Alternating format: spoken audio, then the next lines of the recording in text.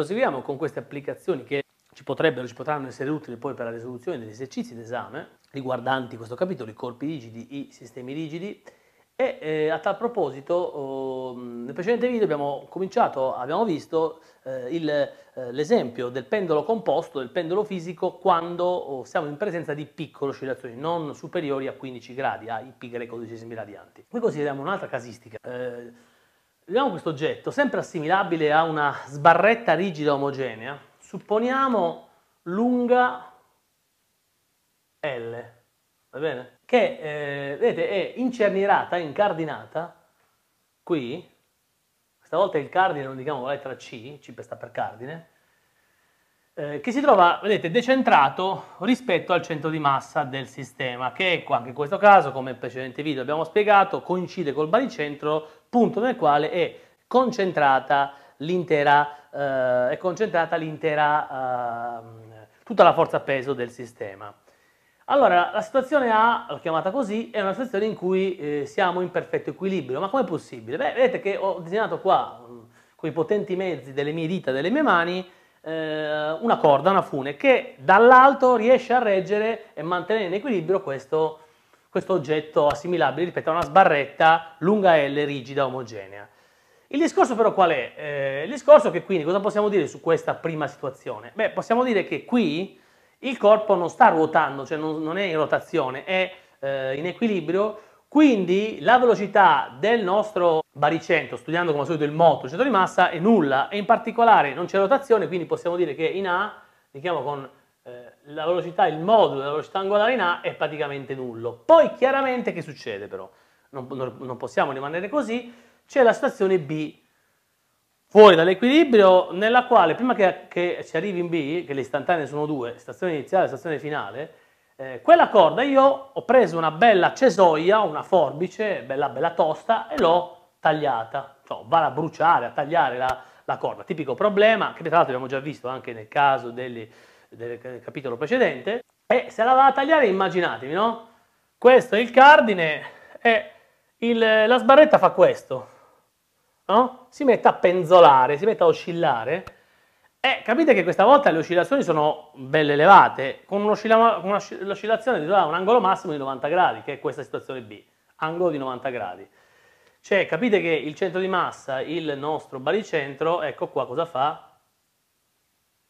Compie un arco di circonferenza, compiendo un moto, attenzione, circolare non uniforme, perché la velocità inizialmente è 0, e in B la velocità la velocità in B che poi la periferica qui in corrispondenza del punto più distante dalla, dal cardine, C, è una velocità che chiaramente non sarà una velocità, la velocità non è costante, ogni volta cambia, aumenta sempre di più. E vedremo tra le domande quanto varrà la velocità periferica, cioè la velocità posta qui in questo punto a distanza L dal cardine. Chiaramente quello che va detto è che non è possibile in questo caso, quindi cosa possiamo calcolare qui? Dunque, che cosa ci chiede il, il nostro vir problema virtuale? che cosa, cosa, dobbiamo, cosa, cosa calcoliamo qui? Beh, intanto eh, voglio, eh, eh, si vuole calcolare la, ehm, la velocità angolare massima raggiunta dal corpo in questa situazione.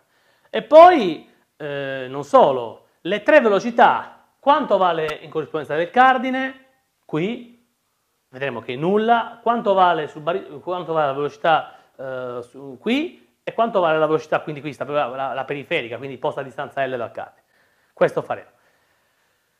Queste sono le domande che vengono chieste. O, ora eh, facciamo alcune considerazioni. È chiaro che qui non possiamo, ricordiamoci quell'equazione differenziale non lineare che avevamo resa lineare con l'approssimazione di piccole oscillazioni, qui non essendoci piccole oscillazioni ma oscillazioni elevate del nostro oggetto rigido, della nostra sbarretta rigida omogenea, è chiaro che qui non possiamo risolverla facilmente in quel modo, con quelle facili approssimazioni, quell'equazione differenziale e pertanto qui non si può calcolare il periodo delle piccole oscillazioni.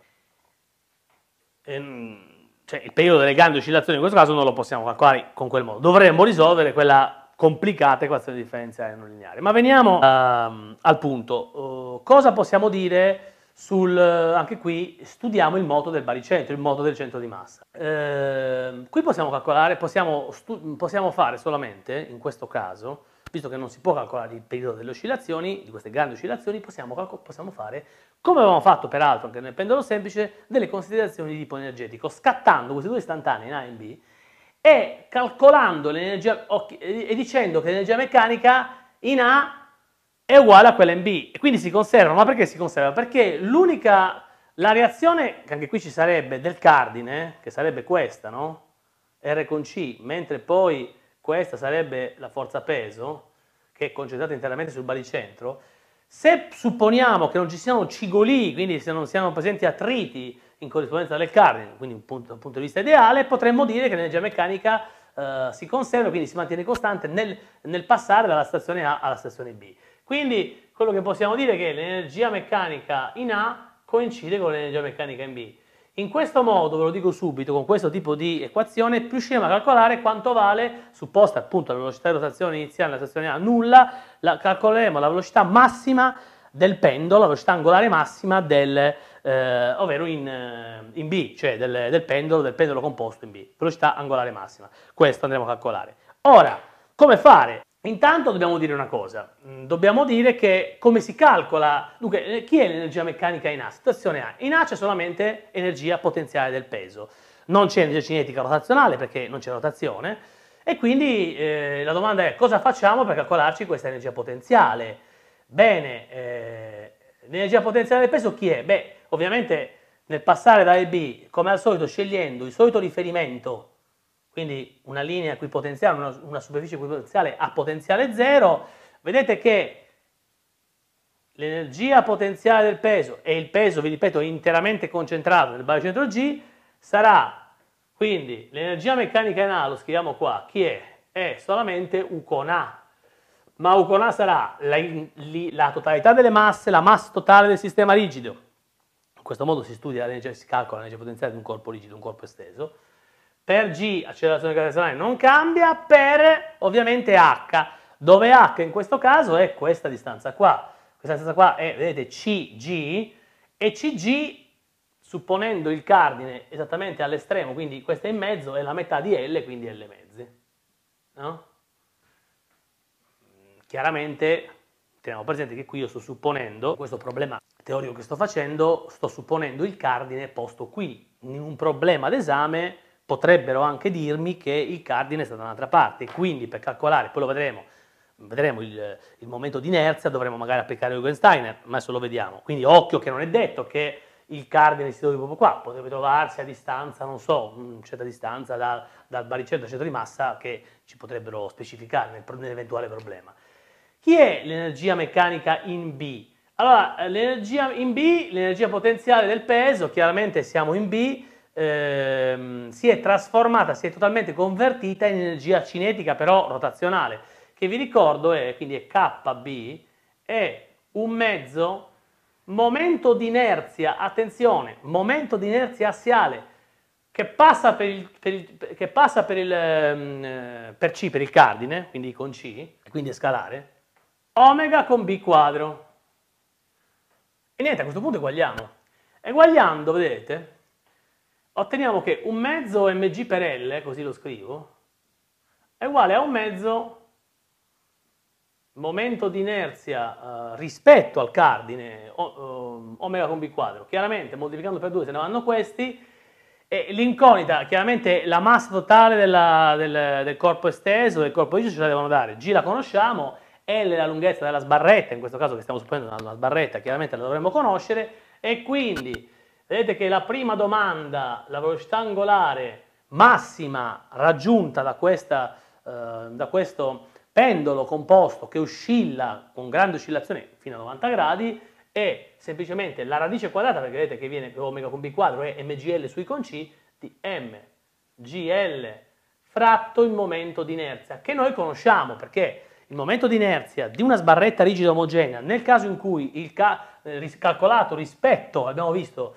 al, al cardine che si trova a uno, in uno dei due estremi, quindi la distanza tra C e è L mezzi, l'intera lunghezza è L e abbiamo visto, in, ovviamente qui è molto semplice, è un terzo massa totale per L al quadrato. Chiaramente, vi ripeto, potrebbero non dirci do, proprio che esattamente sta là, il cardine quindi dovremmo magari applicando, ripeto, il teorema di Eugensteiner, perché chiaramente può darsi che in un esame ci sia da applicare Eugensteiner, occhio che quindi eh, non è detto che sia così immediato, quindi qui ci metterò un terzo m e l quadro, notiamo come mm se ne vanno, l le cose se ne vanno, 3 ripassa sopra, si ottiene in definitiva che la velocità angolare massima di questo pendolo composto è eh, B inteso come nel, eh, ovviamente massima perché siamo nel eh, punto di massima ehm, oscillazione, chi sarà? È 3 volte,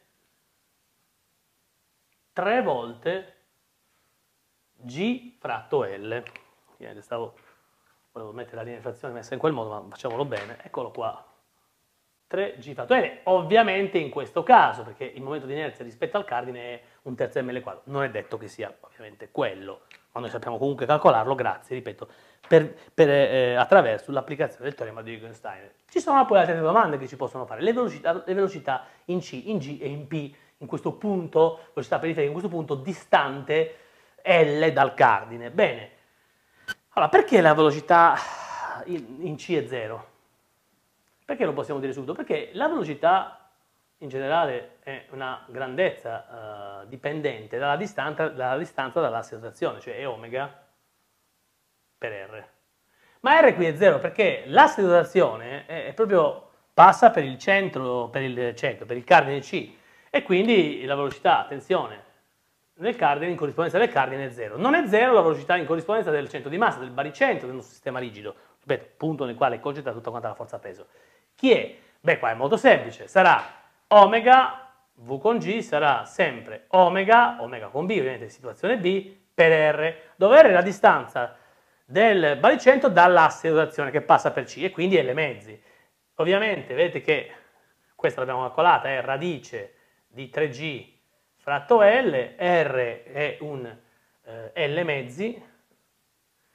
E quindi eh, questo lo possiamo scrivere come radice di 3G L quadro diviso 4L perché non faccio altro che portare L mezzi dentro la radice diventa L quadro quarti, anche qui se ne vanno L con L, vedete che si ottiene come la velocità eh, in corrispondenza del baricentro è radice quadrata di 3GL fratto, quart, fratto 4, 3 quarti GL. V in P, questo punto P, che stavolta è posto in L, quindi V di P è la stessa formula, sempre omega con b per r, ma attenzione, non eh, eh, omega b è radice 3g su L, ma r è la distanza L stavolta, che diventa radice quadrata di 3gl quadro su L, perché L lo porto dentro, diventa radice di L quadro, E L se ne vanno, questa volta è radice di 3gl e vi invito a, se non mi sbaglio era radice di 2gl, quella del pendolo semplice, vi invito a guardare quella del pendolo semplice e notiamo la differenza che c'è tra eh, il caso del pendolo composto fisico e il caso del pendolo semplice. Questo è quello che possiamo dire eh, sul uh, pendolo composto, abbiamo visto per piccole oscillazioni e per grandi oscillazioni. Non perdetevi, non possiamo, non, non potete perderlo, il prossimo video nel quale ne faremo un'altra applicazione, cioè dove, dove, parleremo per la prima volta nei colpi rigidi di urti perfettamente anelastici, cioè considereremo il caso in cui c'è sempre questo, questa, questa sbarretta che però viene sparata, da un, viene colpita da un proiettile. Non perdetevi il prossimo video. Ciao a tutti.